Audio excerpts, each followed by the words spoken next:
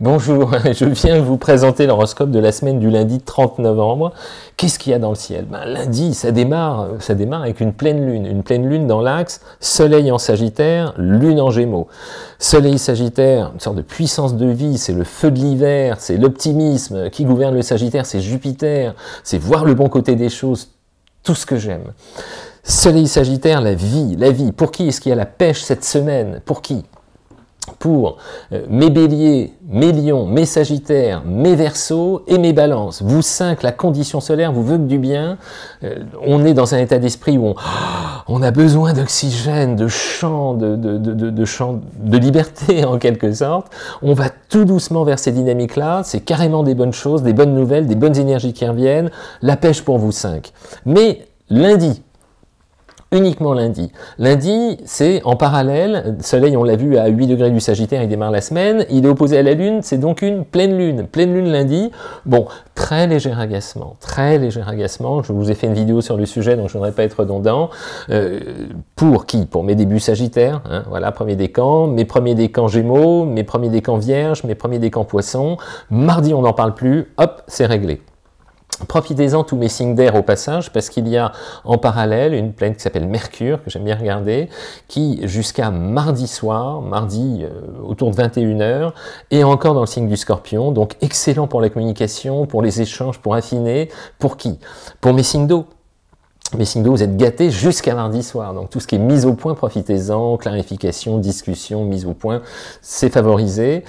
Pour mes poissons, mes cancers, mes scorpions, et ceux qui sont en sextile, mes vierges et mes capricornes.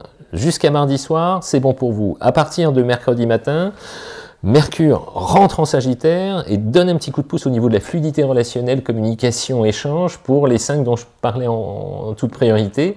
Qui, Mercure se rapproche du Soleil, donc qu'est-ce qui se passe? Mercure-Soleil, ça fluidifie les échanges, ça fluidifie les échanges et c'est reparti une deuxième couche pour mes béliers, mes lions, mes sagittaires, mes versos et mes balances. Waouh, c'est votre semaine à vous cinq, c'est bien. Là, il y a toujours Vénus. Vénus, en revanche, en scorpion, démarre la semaine à 11 degrés, donc beaucoup de, finesse, de finesse, mais de patience, scorpion. Il faut se méfier, parce que lorsque Vénus est dans le signe du scorpion, elle prend une couleur, une couleur passionnelle, une couleur sensuelle aussi, il y a un peu de ça, en scorpion, on est dans les, dans les sens, quoi. Hein. Et, Vénus en scorpion va apporter de l'affect, de l'amour à mes scorpions, parce que c'est chez vous, une dose de charme, de savoir-faire, de rondeur, de douceur, euh, de magnétisme qui va être plus marqué, et même effet, donc pour mes scorpions parce que c'est chez vous, mais pour mes poissons, pour mes cancers, pour mes vierges et mes capricornes. Voilà, vous cinq, semaine de charme, dirons-nous tout simplement. Mars, l'action, toujours en bélier, jusqu'en fin janvier, ça rime, voilà. Mars la pêche pour mes béliers, mes lions, mes sagittaires, et quand Mars est en bélier, il apporte aussi de l'énergie euh, puissante hein, à mes versos et à mes gémeaux. Vous, c'est la pêche. C'est le moment de débroussailler, d'avancer, de faire évoluer tout ce qui doit l'être. Euh, on retrousse les manches, on y va, on met les bouchées doubles, Mars vous soutient, plein pot, c'est que du bonheur. Qu'est-ce que j'ai repéré d'autre? J'ai repéré qu'il y a des planètes lentes, Jupiter et Saturne et Pluton, hein, les trois morceaux là qui sont en Capricorne depuis une bonne année. Hein, on a vu tous les effets que ça a eu, anxiogène avec Pluton, euh, euh, stress, étouffement avec Saturne, etc. Des trucs pas fun, quoi, vraiment. Et Jupiter qui termine la boucle. Bref, ce que je voulais vous dire, euh, cette semaine, Jupiter est à 26 degrés du Capricorne, Saturne à 28. Ils vont se réunir, on va en parler parce qu'il y a une grosse, grosse conjonction qui se prépare et elle est très, très particulière. La dernière fois qu'on a vu la même, parce qu'elles sont vraiment alignées, c'est un effet visuel, mais elles sont vraiment dans le même comme une sorte d'éclipse en fait. On n'avait pas vu de ça depuis 1226, un truc vraiment particulier, c'est rigolo, je vous ferai une, vidéo sur le sujet. Ça, va, ça arrive bientôt, là, c'est le 23 décembre. entre le 21 et le 23, parce que la conjonction est vraiment lente, lente, lente et elle bouge. Point important cette semaine encore. Donc, ces deux grosses planètes s'éloignent de Pluton, donc moins de, dynamique anxiogène, de stress, de tension, moins d'anxiété globale. On va vers du mieux. Plus les planètes s'éloignent de Pluton, mieux elles se portent. C'est vraiment un truc à connaître. Et puis, le, gros morceau, c'est Neptune. Neptune fait son tour en 165 ans. Actuellement, il est en poisson, il a 18 degrés, il est à la fin du deuxième décan.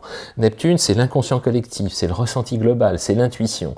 Neptune, donc, reprend sa marche directe, repart plein pot.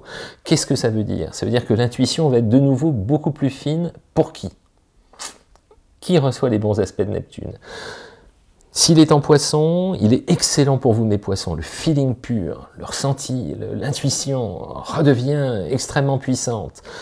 Également pour mes scorpions, également pour mes cancers, également pour mes taureaux, également pour mes capricornes. Il y en a qui sont gâtés en ce moment. Donc voilà la toile de fond avec Neptune. Neptune, c'est quelque chose qui, nous intéresse toujours parce que c'est un lien avec l'inconscient collectif. L'inconscient collectif, immédiatement, ça fait référence à Jung. on est dans les ressentis, dans le ressenti global, l'ambiance globale, avec les bonnes planètes en Sagittaire, l'ambiance globale devrait remonter d'un cran, l'optimisme collectif devrait reprendre un petit peu de couleur, c'est un début, c'est un préambule, une amorce, voilà, on va dans ce sens-là. Puis moi j'aime bien qu'on aille dans ce sens-là, puis vous aussi. Donc on, voit le bon côté des choses. Voilà, c'était un peu le ciel de cette semaine.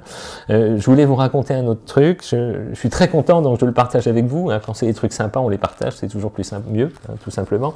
J'ai réalisé l'horoscope de, de, ce magazine qui vient de sortir avec Sophie Davant. Euh, Sophie, elle est extrêmement attachante, on la connaît, voilà tous. Hein. Et puis on a fait ce truc, j'ai fait l'horoscope, voilà, c'est un truc qui démarre. Bon, si ça vous tente, c'est il n'y a, pas de raison. Euh, moi, j'ai trouvé, j'ai adoré cette aventure, et puis elle, commence, donc espérons qu'elle dure longtemps. Euh, le magazine de Sophie Davant F, S, S comme Sophie. Euh, c'est dit, voilà, j'adore ce truc. Bon, mille merci pour tout vos coucous, vos likes, vos abonnements, vos petits messages, tout ce que j'aime, quoi, tout simplement. Euh, tiens, j'ai recommencé les cours, si, pour ceux qui sont intéressés par les, questions techniques, comprendre les pleines lunes, les nouvelles lunes, euh, comprendre les mécanismes qui nous relient, euh, comprendre, parfois on est, on est connecté soi-même au moment d'une nouvelle lune ou d'une pleine lune, c'est intéressant. C'est intéressant de comprendre ce que ça induit. Lorsqu'on est né durant une pleine lune, pour l'anecdote, à la naissance, hein, là je vous fais tout ce qui se passe dans le ciel, mais il y a aussi, on a la même chose à la naissance. À la naissance, souvent une opposition Soleil-Lune, c'est une hypersensibilité aux environnements familiaux qui sont dans les il y a des tensions. Voilà. Lorsqu'on est au moment d'une nouvelle lune, on réunit les mécaniques conscients et les mécaniques inconscients. Et donc cette liaison-là, elle donne euh, des profils qui sont en général one-shot, d'une pièce. Hein. On, associe conscient et inconscient. C'est-à-dire que vous avez des profils qui, qui généralement euh, foncent droit devant ou, sont plutôt dans, euh, dans quelque chose d'assez fusionnel, d'assez exclusif, d'assez entier. Hein. Ça renforce les caractéristiques du signe, tout simplement.